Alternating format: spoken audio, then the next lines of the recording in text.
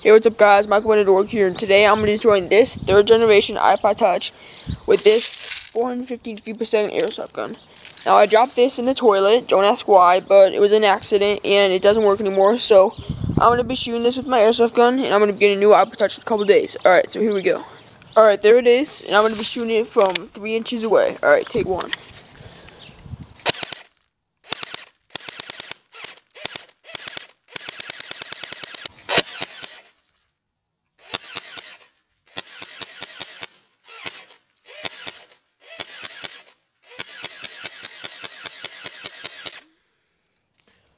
Alright, let's see how that looks.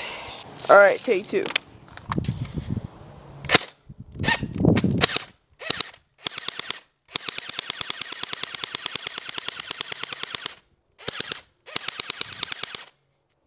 Alright, let's see it. Alright, the back has a lot of bullet marks in there. It's not cracked because it's metal and it's stronger. Um, so yeah, basically, I'm going to do the exact same thing I did the first time to the front. Alright, here we go. Alright, the back has a lot of bullet marks in there. It's not cracked because it's metal and it's stronger. Um, so yeah, basically, I'm going to do the exact same thing I did the first time to the front. Alright, here we go. Alright, front of the iPod Touch, take three.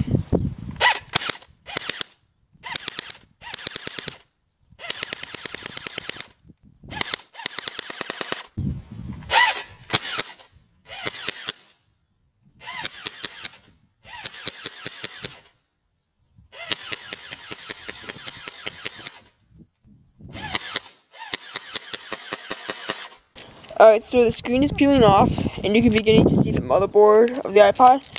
But I'm not done yet. I'm going to be throwing this across my backyard. Alright. Hopefully you can see that, but maybe not. Alright, so basically it hit the sidewalk and it's split in two. Here's the back, here's the screen. So yeah, thank you guys so much for watching this video. It's starting to rain now, so please make sure to rate this video, thumbs up, comment, subscribe. I'll be putting more Call of Duty videos on the way. Peace.